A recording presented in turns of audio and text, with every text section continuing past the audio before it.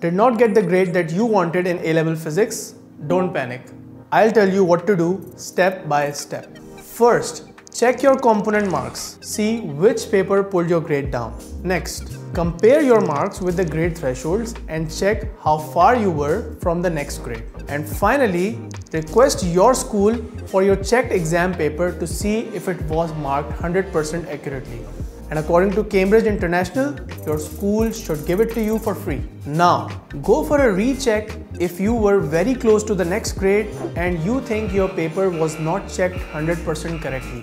And go for a retake if you need a bigger jump, are confident that you can do better next time and a better grade will actually help your university admissions. And remember, I have built a complete A-level physics course on my website with solved past papers and proven exam strategies so you can do better in your next attempt. DM me to get started today.